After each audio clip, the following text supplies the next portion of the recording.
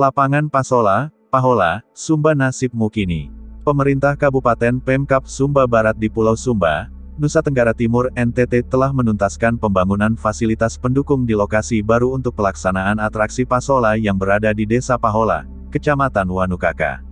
Fasilitas yang sudah selesai dibangun pada lokasi baru Pasola di Wanukaka ini berupa tribun, tempat parkir, tempat duduk, dan lapangan Pasola itu sendiri.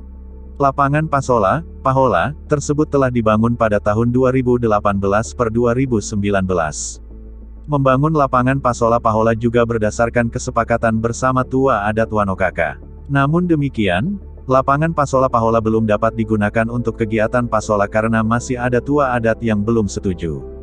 Arena Pasola baru ini merupakan relokasi dari lokasi sebelumnya yang berada di lapangan Weihura, Kecamatan Wanukaka, lokasi baru untuk atraksi Pasola ini belum digunakan karena harus ada ritual adat khusus yang digelar untuk pemindahan lokasi ini.